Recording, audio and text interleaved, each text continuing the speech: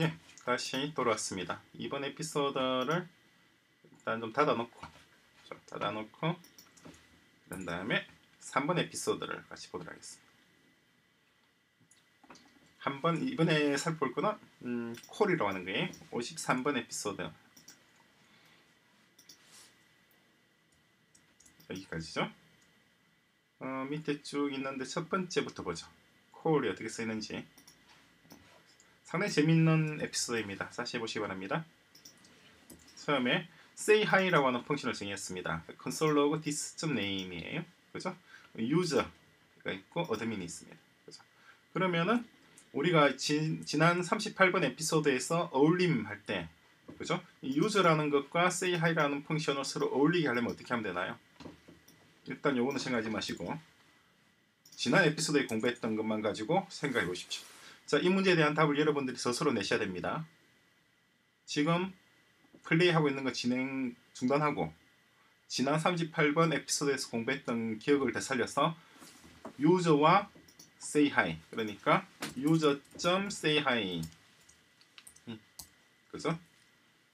요렇게 했을 때 john이라고 하는 것이 나오게끔 하고 그리고 admin도 있죠? admin의 say hi admin say hi 했을 때 얘가 admin 나오게끔 한번 서로 어울려 어울리게 유저와 say hi, admin과 say hi, 주어 동사 주어 동사가 서로 어울리게끔 만들어 보십시오. 만들어 보셨어요? 어떻게 하면 되죠? 그렇죠. 어울리게 하는 방법은 유저의 say hi라고 하는 뭐라고 해야 되나요? property 키를 주고 거기다가 say hi를 넣어주면 되죠. 그죠? 다음에 마찬가지로 유저의 어드민을 넣어주고 그런 다음에 admin 아 아니죠 어, admin admin입니다. admin의 say hi say hi 해서 say hi를 넣어주고 그리고 호출을 할 때는 이렇게도 동작은 합니다. 이렇게도 잘 동작하지만은 웬만하면 이렇게 하지 말고 유저의 say hi 이런 식으로 호출하라 그랬죠. 그리고 admin의 say hi 그렇게 해야지 아하 내가 어, 서로 어울리게 만드는 거구나. 원래 say hi 속에 이런 function이 say hi라는 게 있는 것이 아니라 우리가 어, 서로 서로 별개의 object와 별개의 function을 서로 어, 주어 동사 관계가 이루 형성될 수 있도록 서로 어울릴 수 있도록 만들어 준 거구나 하는 걸 바로 알 수가 있죠. 그죠? 이렇게 한번 동작해 보겠습니다. 하면은 예쁘게도 오른쪽에 아무것도 안 나타나고 있어요. 그죠? 자, 그럴 때는 어떻게 하면 되나요? 어, 요걸 그대로 복사를 해서 여기다가 붙여놓고 그런 다음에 해보시면 됩니다. 그러면 F say hi만 나오고 있어요. 음, 그렇죠. 그럴 수밖에 없죠. 음, 몰아냈나요? 실행을 시켰잖아요. 실행을 시켜야 될까요? 어떻게 다. 그럼 지우고 다시 하겠습니다. 하니까 john admin 아주 예쁘게 나타나고 있죠. 그죠? 이거는 이전에 우리 공부했던 어울림이라고 했던 거죠. 이처럼 어떤 주어와 동사 사이에 서로 연결이 돼야 됩니다. 그래서 이때 이 this는 어떻게 되나요? this. 우리 관심을 가지고 있는 부분은 바로 이 this입니다. this. 그죠? 이 this는 얘가 주어가 됐을 때는 얘의 name, 존을 가져오고 얘가 주어가 됐을 때는 이 this가 얘의 name인 admin을 가져오는 거죠.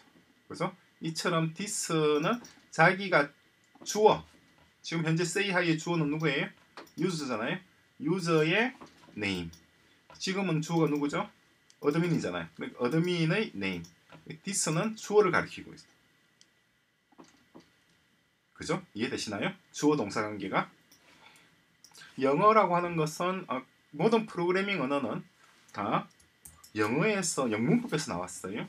어, JavaScript든 C 언어든 Java든 뭐 우리가 공부하게 될 Haskell이든 Python이든 다 영어 영문법이 기초입니다. 모든 언어는 가장 기본적인 골격이 동일해요. 영어든 일본어든 한국어든 중국어든 기본 구조는 동일합니다.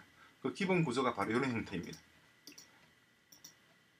말이 나왔으니까 조금만 더 말씀을 드리겠습니다. 우리가 나중에 공부할 내용입니다. 그래서 커리큘럼 소개를 잠시 드릴까요? 중등 부분이죠. 아마 중급, 아, 중등 여기 있군요. 중등 과정에 어, EMC라고 하는 게 있어요. 영어, 수학, 코딩을 함께 하는 수업입니다. 이 EMC를 영어, 수학, 프로그래밍을 왜 같이 하느냐 하니까 영어와 수학과 프로그래밍 언어는 기본적으로 골격이 동일해요. 그래서 함께 하나의 합친 하나의 과목으로 공부를 합니다. 그래서 이 공부를 중등 1년차부터 해서 중등 2년차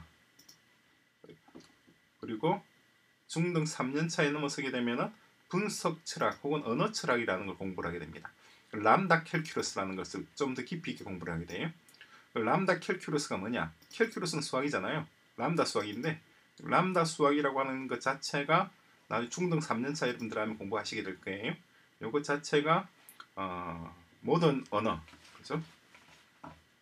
지금은 제가 여러분에게 이야기하는 것들이 전혀 이해가 안 될 겁니다. 그런데 아, 전에 선생님이 그런 말씀을 하셨지 하는 건 기억하십시오. 모든 자연 언어, 모든 자연 언어, 자연 언어. 그러니까 영어, 일본어, 중국어, 한국어, 뭐, 뭐 불어, 독어, 뭐, 뭐 아랍어 등등을 말하는 거예요. 이걸 자연 언어라고 얘기합니다. 자연 언어의 기본 구조 혹은 골격이라고 얘기하죠. 골격은 동일합니다. 그리고 모든 자연 인공 언어, 인공 언어, 인공 언어는 우리가 지금 공부하고 있는 JavaScript 그리고 앞으로 공부할 Python 그리고 또 공부할 Haskell C, Lua, Go 어, 등등이에요. 우리가 지금 공부할 우리 코 프로그래밍 하면서 우리 OpenHash 캠퍼스에서 어, 다루는 언어는 요 하나, 둘, 셋, 넷, 다섯, 여섯 개입니다. 여섯 개를 주로 다루어요.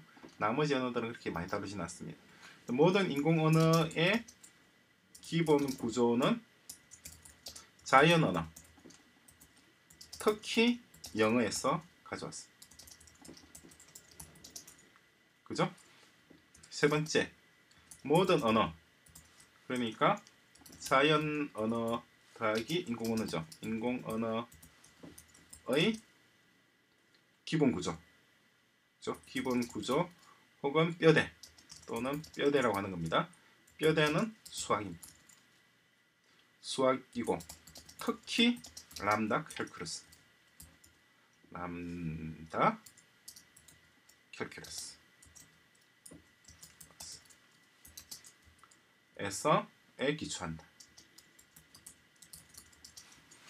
자, 이 세 가지가 아주 중요한 겁니다. 그리고 하나만 더 추가를 하겠습니다. 그리고 언어는 세계의 사진이다. 그러니까 언어를 자세히 보면은 세계와 자연이 조직되고 운영되는 메커니즘이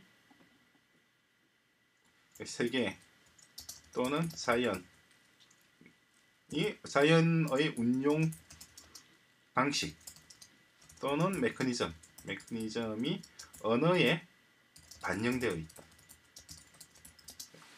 이 네 가지가 아주 중요한 내용인데 여러분들이 지금은 이 선생님이 이 내용이 전혀 감이 좀 안 올 거예요. 그런데 앞으로 선생님하고 같이 공부를 계속 해 나갈 거잖아요. 지금 아마 여러분들이 초등 4년차 아니면 중등 1년차 정도에 와 있을 겁니다. 지금 이 수업은 어, 여기 빠져 있군요. 어, 여기 전에 빠졌네요. 빠졌습니다. 다시 지금 JavaScript 입문 2죠. JavaScript 입문 2 초급 3년차에서 여러분들이 지금 어, 입문 1 입문 1을 보고 이번에 입문 2로 지금 들어온 걸 가진 거예요. 지금 여러분들은 그러니까 초등 졸업반이거나 중학교 1학년, 2학년 정도일 거예요. 어, 그 대상을 상정해서 지금 수업을 진행을 하고 있습니다. 그, 그 정도 지금 공부 수준에서는 방금 선생님이 얘기했던 그 내용이 내용이 잘 이해가 안 되겠지만 앞으로 우리가 중등 1년차, 중등 2년차, 중등 3년차쯤 들어오게 되면은 어, 이 내용 이게 어떤 의미인지가 정확히 이해가 될 거고 이게 정확히 이해가 되면은 여러분들은 어, 대한민국이나 전 세계의 어, 상위 0.1% 이내의 우수한 개발자로서 이미 지식과 기술을 충분히 갖추고 있는 상태일 겁니다. 아, 좀 얘기가 좀 엉뚱하게 좀 음, 들어서 좀 많이 길어졌습니다. 어, 그래서 이 내용, 이 내용이 어떻게 동작하는지 여러분 잘 정확히 이해를 하시기 바랍니다. 그리고 이어서 어, 조금 더 복잡한, 조금 더 어, 깊이 들어가서 한 발짝 더 들어가서 여기 디스라고 하는 알고리즘 이게 어떻게 움직이는지 살펴보도록 하겠습니다.